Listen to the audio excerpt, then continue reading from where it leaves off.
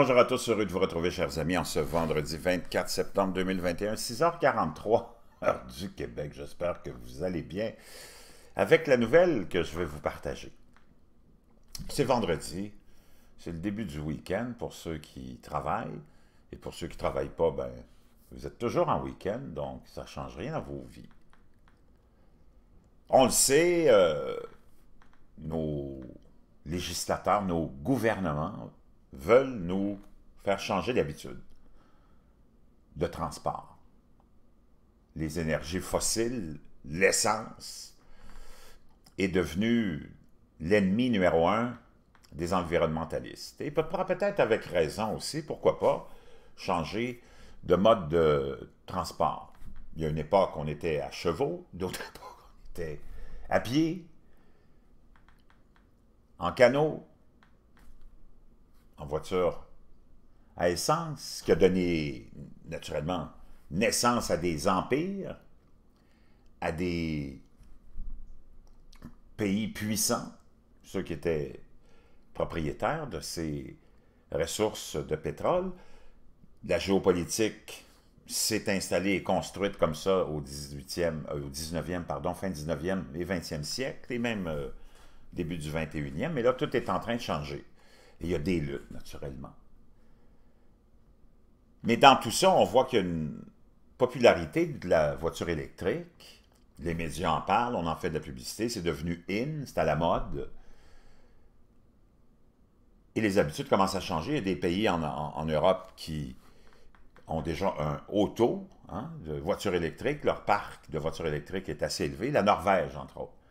Mais je vous en avais déjà parlé, ça amène un autre problème pour les gouvernements un trou dans les finances publiques. Parce que dans la plupart des pays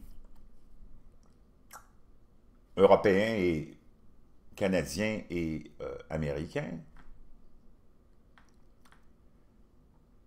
l'essence à la pompe rapporte des trilliards de dollars en impôts et en taxes, mais en taxes, surtout payées par le consommateur. Parce que les compagnies pétrolières ne payent pas beaucoup d'impôts. Mais avec le changement d'habitude, au Canada, aux États-Unis, c'est encore fragmentaire, mais en Europe, un pays comme la Norvège, qui a presque 70% de son parc automobile qui est électrique et on vise d'ici 2024 ou 2025 à l'élimination totale de la voiture traditionnelle à l'essence. Il y a un trou énorme et là, ils sont en train de se gratter la tête. Je vous en avais déjà parlé que ça causerait un problème parce que si on prend le Québec, par exemple, et même la France, je pense qu'on est à peu près au même niveau de taxation le prix de l'essence est, euh, est, créé par 70% de taxes de différents paliers de gouvernement. Et c'est beaucoup de revenus. Et le Wall Street Journal s'est penché là-dessus. Le changement des voitures à carburant ben, fait perdre des euh, millions et des millions de revenus dans certains pays, des responsables dans des pays comme la Norvège et le Royaume-Uni repensent les incitations aux véhicules électriques et étudient les systèmes de tarification routière parce qu'il va falloir taxer le monde. Pour l'instant, c'est un petit peu un, moment de fête hein, pour les propriétaires de voitures électriques parce qu'ils n'ont pas acheté l'essence, donc ils ne payent pas les nombreuses taxes qu'il y a sur le prix du litre d'essence. Un parking pour voitures électriques en Norvège, qui a le taux d'adoption le plus élevé au monde, pour de telles voitures, hein, c'est la Norvège qui va donner l'exemple peut-être et l'idée à nos gouvernements pour les années à venir au niveau de la taxation des automobilistes à voitures électriques. Les gouvernements du monde entier encouragent depuis longtemps les, automobilistes à acheter des voitures électriques.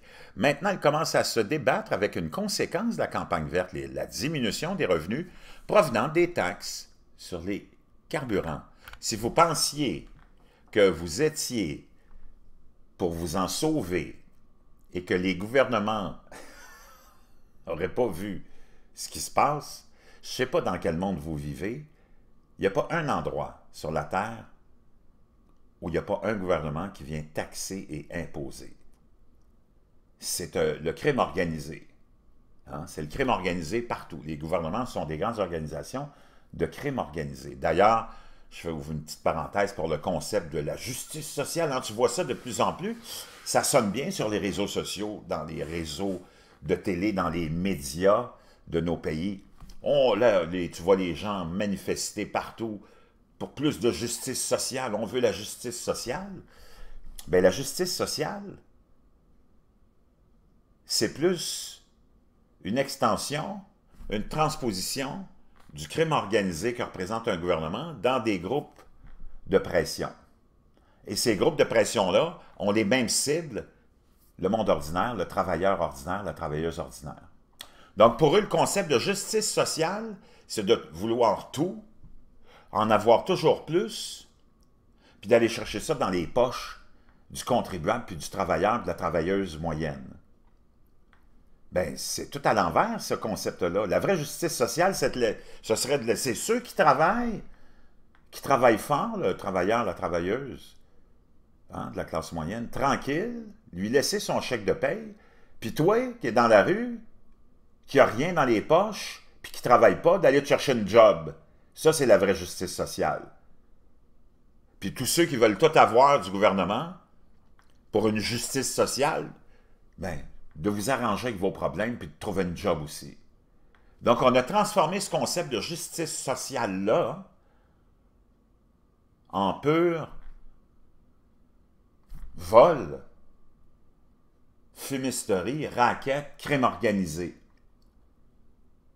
Puis il n'y a personne qui s'en va après les grandes entreprises, les banques qui font des milliards et des milliards de profits à chaque trimestre. Si tu veux de la justice sociale, va leur en demander eux autres. Puis les politiciens qui veulent écouter tous ces justiciers pour la justice sociale, payez-le de vos poches. Tu veux quelque chose? On a tous été élevés comme ça, j'espère. Dans ta mère qui disait, tu veux quelque chose? Ben, il faut que tu le gagnes. Va travailler. Plusieurs pays ont cherché à éliminer progressivement les voitures à essence et diesel en offrant des incitations fiscales et autres aux conducteurs qui achètent de nouveaux véhicules électriques dans le cadre d'efforts plus larges pour réduire les émissions de carbone, mais dans les endroits où de plus en plus de véhicules électriques prennent la route, les revenus de la taxe sur les carburants, qui représentent souvent une part importante des recettes publiques, sont en baisse. En Norvège, où le taux d'utilisation de voitures électriques est le plus élevé au monde, les législateurs ont supprimé les allègements fiscaux sur les voitures électriques alors qu'ils tentaient de combler un trou dans les recettes fiscales. Au Royaume-Uni, où les taxes sur les carburants représentent environ 7 du revenu annuel du gouvernement, les législateurs étudient un nouveau prélèvement potentiel basé sur le nombre de personnes qui conduisent à la place. L'adoption des véhicules électriques reste faible dans presque tous les pays les plus riches au monde, à l'exception de quelques-uns, et la diminution des recettes fiscales devrait être progressive. Pourtant, l'énigme met en évidence les coûts et les défis de la décarbonisation de l'économie au sens large. La réduction des émissions de transport étant considérée comme la clé pour atteindre les objectifs climatiques mondiaux. La façon dont les pays adopteurs précoces gèrent les transitions sera probablement surveillée de près dans des endroits comme les États-Unis, où les législateurs espèrent stimuler les ventes de véhicules électriques, en partie grâce à des crédits d'impôt. En Norvège, et c'est là où ça devient intéressant, de plus en plus, où plus des deux tiers des voitures neuves vendues jusqu'à présent cette année sont des véhicules électriques à batterie ou rechargeables. Selon le groupe de recherche Motion, ce, cela se compare à seulement 4,6% de toutes les voitures vendues dans le monde l'année dernière qui étaient électriques selon l'Agence internationale de l'énergie. Mais une baisse de 40% des recettes norvégiennes provenant des taxes lié aux voitures entre 2013 et 2021 a incité les législateurs en mars à suspendre les exonérations de la taxe annuelle sur les véhicules à moteur du pays pour les propriétaires de véhicules électriques. Et le gouvernement a également commencé à travailler sur un nouveau système de taxation des voitures indépendantes de la technologie qu'ils souhaitent mettre en place d'ici 2025. En plus, ils ont une autre idée, là, mais en attendant, Oslo vise à mettre fin à la vente de véhicules à moteur à combustion interne, on le sait, d'ici 2025. Je conseillerais certainement aux autres pays de regarder ce qui se passe en Norvège avec des revenus en baisse assez rapides et d'être conscient qu'il pourrait y avoir une conséquence des incitations fiscales. Un porte-parole du ministère des Finances norvégien a déclaré que la forte perte des recettes fiscales était difficile à prévoir lorsque des incitations ont été introduites dans les années 90 et 2000, mais que les gouvernements successifs les avaient maintenues en place pour réduire les émissions de gaz à effet de serre, naturellement, le CO2. Et le trou dans les finances publiques a été en partie comblé par des impôts plus élevés ailleurs. Le Parti travailliste norvégien qui devrait diriger un nouveau gouvernement après avoir remporté une élection nationale plus tôt ce mois-ci, est favorable à la taxation de l'achat de véhicules sans émission d'une valeur de 70 000 et à l'introduction d'une tarification routière compatible GPS, a déclaré son porte-parole pour le climat. La tarification routière en vertu de laquelle les conducteurs payent pour la distance parcourue en fonction de l'heure de la journée où ils sont au volant est également à l'étude comme solution pour réduire les taxes sur la perte sur les taxes euh, sur les carburants au Royaume-Uni et en Australie. Il, existe déjà sous plusieurs formes, comme les routes à péage, les paiements autodéclarés et les zones de péage urbain qui utilisent des caméras pour lire les plaques d'immatriculation et facturer les conducteurs dans des villes comme Londres et Stockholm. Singapour est récemment passé à un système de tarification routière par satellite au Royaume-Uni, 14% des véhicules neufs achetés jusqu'à présent cette année étaient des véhicules électriques à batterie ou rechargeables. Donc, attendez-vous à vous faire rattraper au coin de la rue si vous pensiez que vous étiez pour vous sauver de votre responsabilité citoyenne. vous rêviez en couleur. Puis ça, je vous l'avais dit déjà il y a quelque temps. Je vous avais déjà parlé de ce sujet-là, si ce n'est pas ici sur, sur un autre de mes chaînes. Préparez-vous.